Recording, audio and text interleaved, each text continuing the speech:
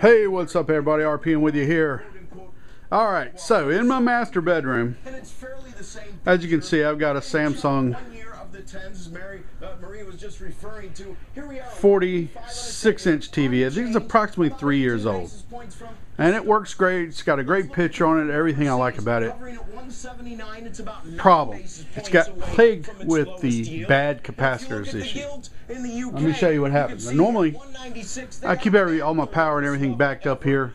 Um, so when the power flickers and stuff, the TV pretty much stays on always. But let me turn it off. I'm going to show you what happens when you have a bad caps problem. Now, what about the currencies of these? This is also interesting.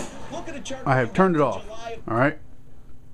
Now, what I want you to notice, let me get rid of the volume on the receiver.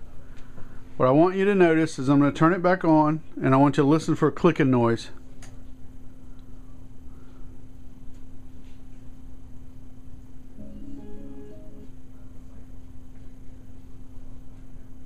And it doesn't appear to be doing it now. Nope. That's because it's warm. So I'm going to let the set stay off for a little bit. And I'll be back with you in just a few minutes and hopefully I can show you what happens. Alright everybody, it's RP, I'm back with you. Alright, I don't have time to screw with this thing, wait for it to cool down so it won't shut on. Basically what happens when these units go bad, they start clicking when you try to turn them on, they just cycle power over and over and over again. And it's a classic symptom of a bad capacitor in the power supply. So I'm going to tear into this thing, see if I got capacitors and see if I can fix it. Um, I've got a special mount that I put up here back about three, four years ago as you can see and I'll show you guys how I, I did that. I welded up some some steel and stuff bolted to the back of the TV and got my wires and stuff coming out of the ceiling. Um, but I will uh, I will show you that and expose that to you guys in just a few minutes. Um, I got to take it down. Put this thing on the bed. So as you can see got me a sheet laying on the bed actually a quilt lay it face down so I can work on it. So be right back with you. Alright everybody it's done. You can see here's my mount now all it is is a flat piece of steel screwed with some nice heavy screws into the joist. And then I have that little thing right there is basically just a piece of tube um, welded on there and there's a set screw in it. The set screw locks the whole TV together. show you guys. Got the TV down, it's laying face down on the bed here. And you can see, um, ignore these things. These are actually just for me to help hold it as I lift it up there. You see my bracket that I made, heavy duty steel bracket made out of quarter inch material. Probably could hang my uh, Honda Odyssey off the ceiling, um, but it's all the material I had, so I made this this mount. Use caps head screws. I just like these things. Uh, but you can see this little uh, stud that I have uh, welded on here. Okay, these studs they slide into those pieces up there in the ceiling, so both of them slide the same direction as you can see. See this other one right here so they both slide to the right. And then when I tighten up the set screws on that little pipe up there it sets the angle. So I tighten them up and then the set screw comes in and grabs this right here and sets the angle. So anyways I'm going to dust it off a little bit. This is always a good time whenever you go into your electronics to always clean out dust and things. So I'm going to dust it off. I've dusted off the outside a little bit. I'll remove our our bracket and uh, ignore that that's a remote repeater it's stuck on there with double stick tape I don't think I have to remove it I think we're okay and there's probably about 20 screws that go all the way around the perimeter of the unit. I'm going to remove those and get the back off of this thing. And then we'll get to it. Okay everybody, RP, I'm back with you. You can see I've removed my bracket from the main mounting holes here. I removed all of them, right? Okay, so now it goes to the small screws. And get all the small screws all around the outside perimeter. We'll take it apart. Alright everybody, RP, I'm back with you. You can see I got the back off the thing. About four or five screws. We're about six minutes into this thing since I started. This is about a $200 TV repair. It's going to encompass about 65 cents worth of parts. uh, just a little bit of know-how and even a normal old common everyday redneck like myself with just a few years of, well, 20 years of electronic experience could do this. But you don't need to be an electronics technician to do this. You just need to use a little basic common sense and a little bit of uh, motivation, drive, uh, and determination that nothing's going to scare you. So uh, anyways, here's the back of the TV. Not a whole lot to it. Uh, the majority of these sets are really all in the LCD panel on the other side. You got an inverter board over here with some fluorescent light kit on this side. Another one over here, these are side lit TVs. And here's the power supply. This is the part right here that basically takes your 120 volts coming in from your, your house uh, uh, circuit and convert it over to usable uh, voltages uh, for use, you know, in the TV set, which is low voltage DC, uh, typically and uh, very much desired to be filtered with no AC um, sine waves in it whatsoever, nice and filtered. And part of that job, after the voltage regulation takes place, part of the job of the components on this board and the overall power supply as a whole is to make sure that power is completely clean and filtered. And one of the items that basically com electronic components that uh, serves that task would be capacitors. Now, a lot of you guys have probably heard about capacitors. Uh, I will show you guys uh, some of the, if you just go to Google and search for bad caps, B-A-D-C-A-P-S, you'll see all kinds of information on how these things are plagued the market. The electrolytic capacitors are basically little canisters that are basically used as short-term batteries that filter out uh, unwanted frequencies in a um, in a in an AC signal. Uh, if you do enough filtering, you wind up with DC, uh, and that's what we want is DC. Um, these things are prone to heat problems, uh, especially when you mount them directly. And let me switch over to to uh, macro here for my for my uh, my camera. Uh, but these things are prone to heat issues. Uh, mounting them right next to a heat sink is probably a bad idea, but for some reason, that's what these companies like to do. They do this in motherboards for computers, they do it on TV sets, they do it everywhere.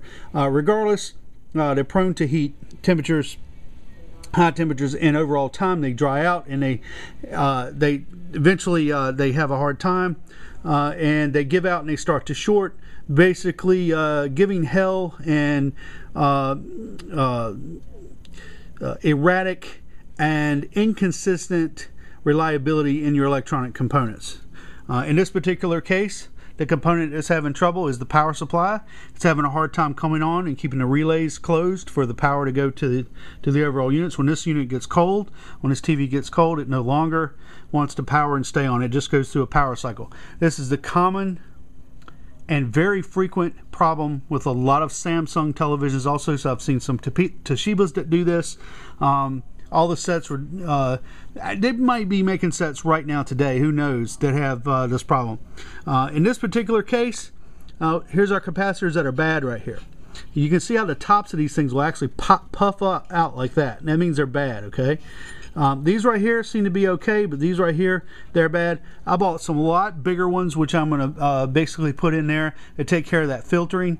Um, this set would probably run if I just simply pulled these out, taking the load off of the circuit, but then we'd have an unfiltered power supply.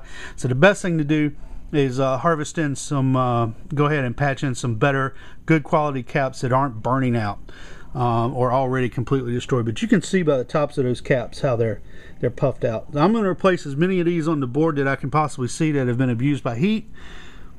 Uh, those things look kind of small to me. they're like uh, maybe uh, three quarters of an inch tall.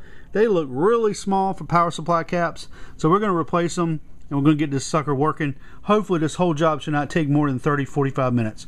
Uh, my next step, let me flip over to the uh, the camera lens here that I need. Um, the next step is just remove the, the cables and connectors from the board, uh, pull out the screws, flip the board over, pull the caps out, solder some new ones in. So stick with me, I'll be right back. Okay guys, as you can see I've removed the power supply board. I'm actually looking at the television from the opposite side here. I've removed the power supply board. There's about five or six cables that go plugging into it to get power to the various components and whatnot, control circuits. Uh, they're really, it's hard to put them in wrong. Um, don't worry about it too much. Just kind of make note of where everything plugs in. Um, the only two that you could switch around are the ones to the inverter um, backlights, and if one would reach the other side and the other would reach the other side, doesn't matter because both of them just power to the same circuit. The rest of the stuff can only go in one spot when it plugs back into the connectors. So again, I'm going to go ahead and show you guys. Let me flip my camera back over to the close-up shots. There's our power supply board.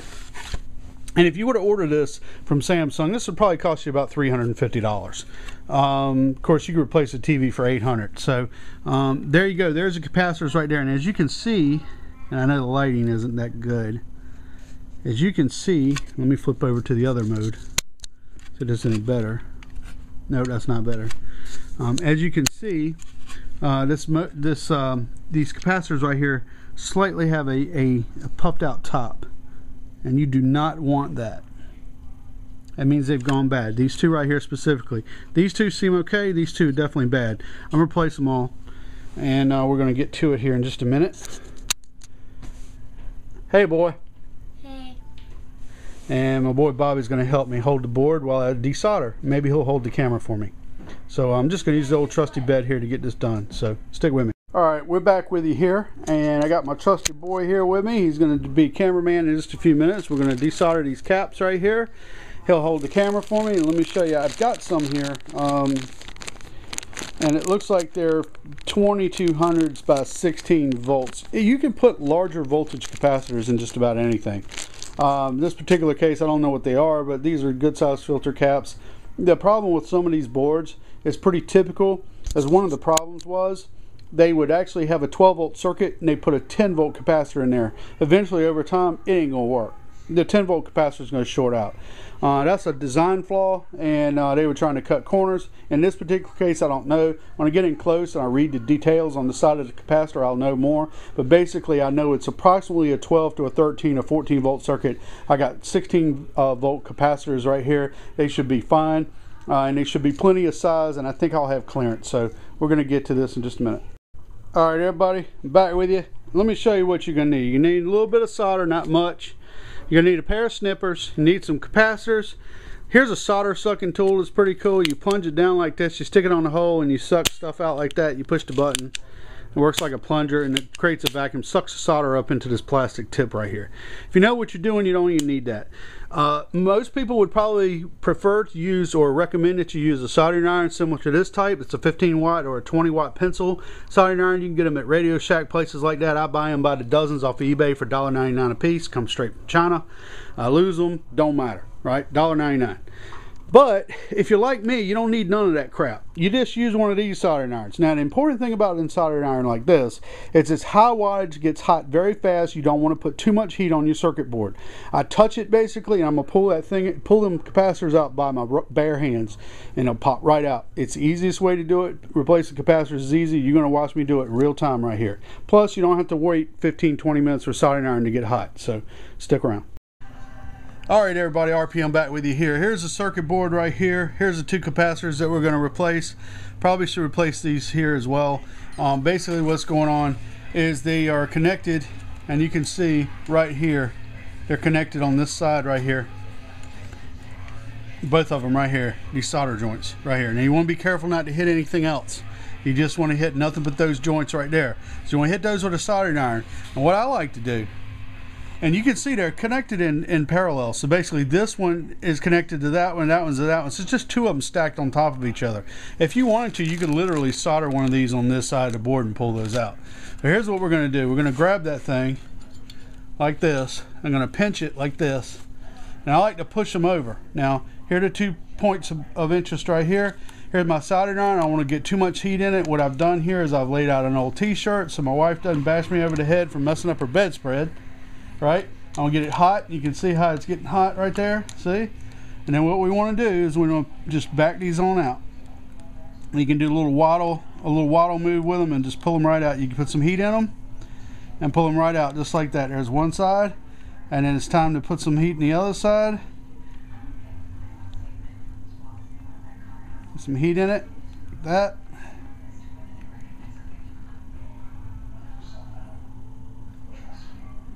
And here it comes. Just like that. Get both sides and walk them right on out. Now I'll probably clean this up in just a minute. This is a single-sided board, so there's no concern about you know the extra pads and stuff getting wrecked from the other side. Sometimes what they do is they actually uh, fold over the leads a little bit like they did in this case.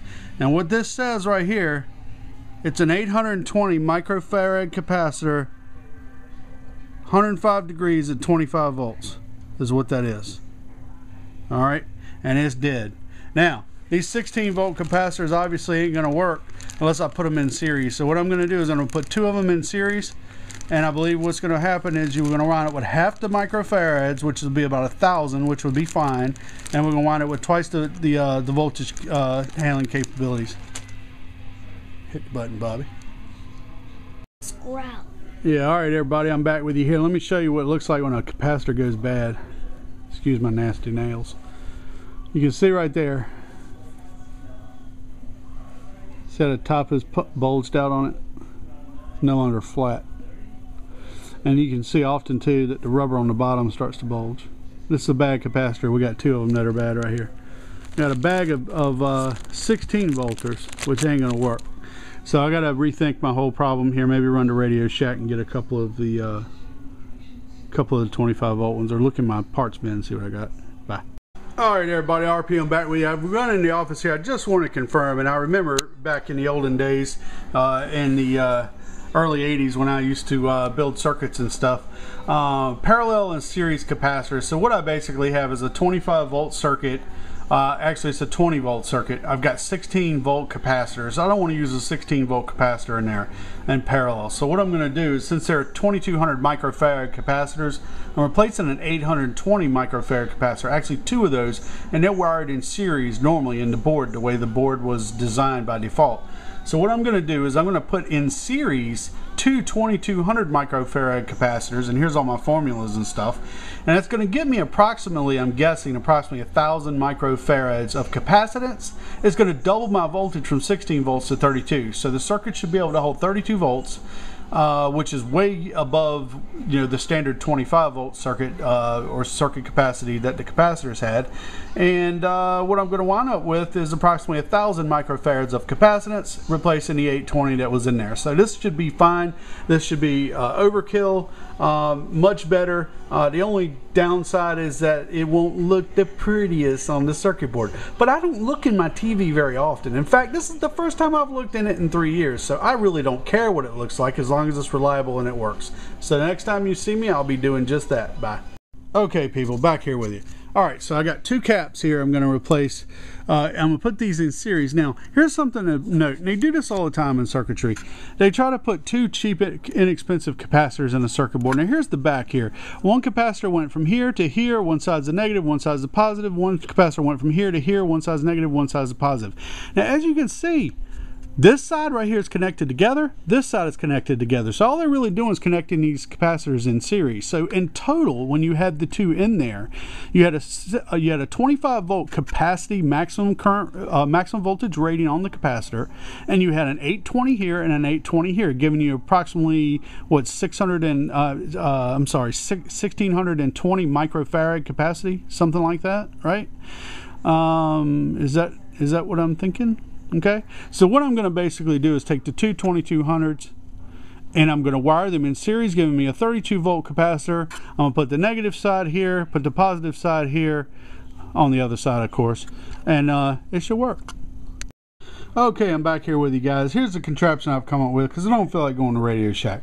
Basically, I've got two series 2200 microfarad capacitors in series, giving me 4400 microfarads capacity at 16 volts. I've taken two sets of those and put them in series together, which will drop my capacitance from 4400 back to 2200 microfarads and give me a total voltage capacity of 16 plus 16 or 32 volt total voltage capacity. It's not the prettiest thing in the world. I'm going to solder up this center lead right here this will be my negative, this will be my positive. I'll solder it into my board, and believe it or not, this will be a lot better solution tilted away from the heatsink, away from the heat, and we will have a working fixed power supply here shortly. And here it is, finally. It's the most rigged looking hunk of crap I've ever seen. Anyways, there's your four caps right there. You can see I've got the negatives going over to the left where you have the stripe side and you have the positives going over to this side. It's a series parallel combination, giving me plenty of voltage coverage and also giving me plenty of filtering capacity with the microfarad uh, total capacitance. Uh, on the other side, there wasn't a whole lot going on except for uh, two solder joints again, and I don't know if you can see those or not, just two solder joints there. Uh, I'm going to use some hot glue and uh, make sure I uh, seal that up real good and everything and mount it to the board but it's not going anywhere even like it is now. I'm gonna make it sure it's a little bit farther away from the heatsink and hopefully this will hold up for a good long time. Next time you see me TV will be working. Bye. All right, everybody, I'm back with you one more time. You can see there's my solution right there. Uh, hot glued it in there and got a little bit away from this heat sink. You can see where the original capacitors were right there. I've got four of them in here now. They're nice and sturdy, not going anywhere. Let me switch to uh, back to wide angle. Uh, got a little dust in my nose here. I was doing some uh, air dusting, blowing some dust out of the back of the unit. Uh, it's pretty much time to test it, so let me grab my cord here. now, what do we expect when we test it? Well, like I explained before, one of the symptoms of these Samsung televisions is that uh, after it's a cold uh, television and it has been started in a while, uh, what happens is um, once it gets to a cold temperature, is a power cycle. You'll hear the relay click and it'll go back off. The relay click, it'll go back off. The relay click and go back off, and that's the symptoms. So uh, what do I expect? I expect it to be fixed, but either we uh, either going to have a working television set or we're going to see some smoke and fire. So let me plug in my power here. And here it comes. I hear a click. There's the speakers.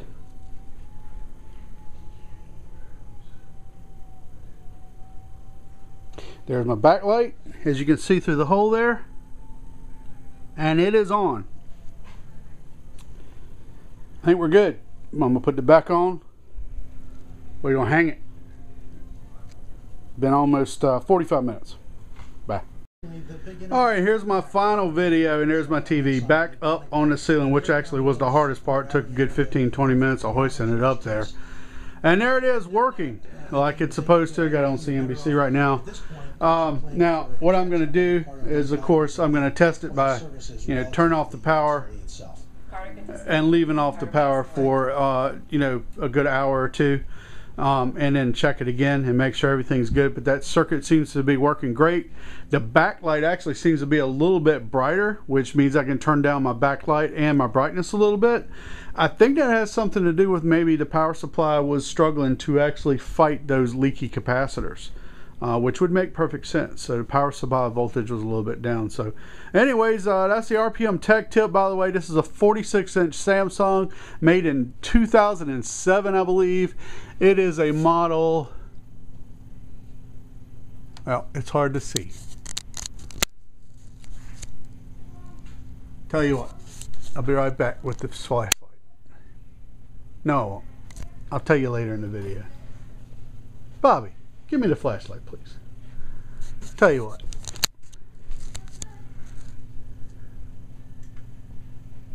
Thank you, sir. It is, right there.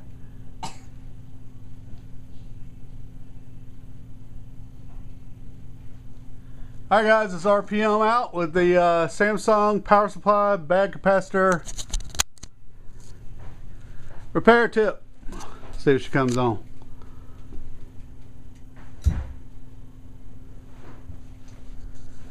that bump noise was poor timing on my wife's behalf. There was nothing going on with the TV. No clicks. And there we go. We are back up. All right, guys, RPM out. Enjoy.